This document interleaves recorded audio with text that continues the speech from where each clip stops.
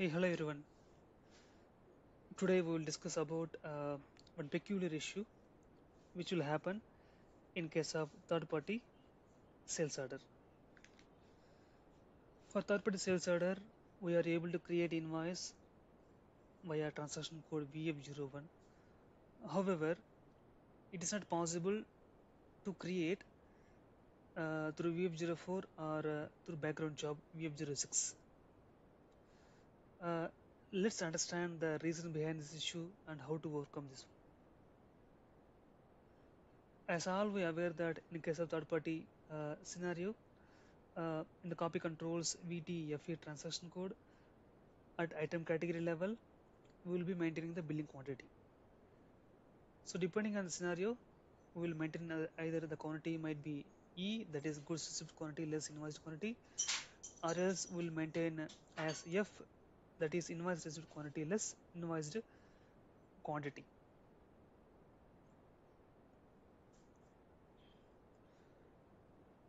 As you see here in VKDFS table, for example, 11943 order won't exist. For the same order, we are able to create invoice in transaction code VF01. Let's understand the reason behind this issue.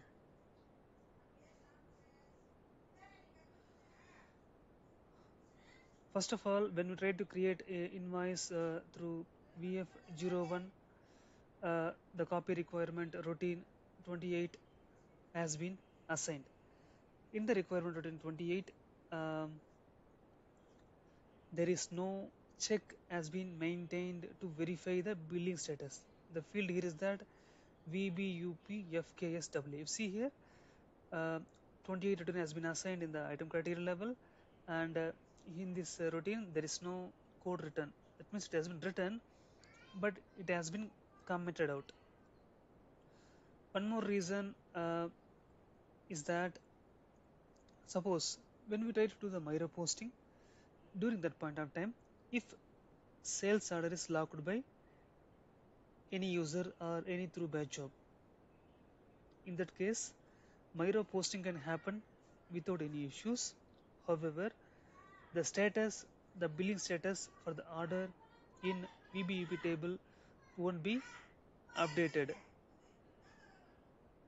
The field here is that FKSWA if this field won't be updated means then that order won't be appear in VK DFS table.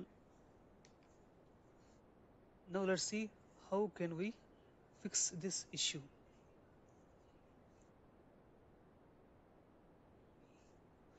so first of all we need to uh, maintain the copy control routine 12 in item, item category level.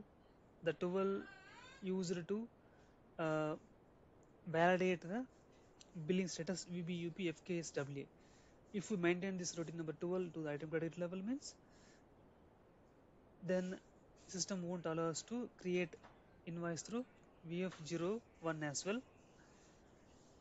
That means it will sync with uh, VF04 and second thing what we can do is that uh, during MIRO posting currently what's happening is that during MIRO posting uh, user won't get any uh, information regarding that uh, order has been locked.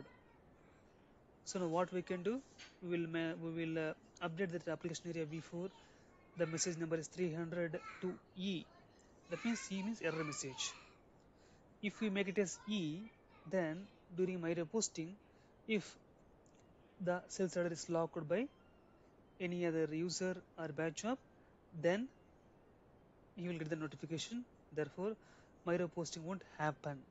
If that won't happen then everything will be fine because the everything VF01 VF04 will be in sync.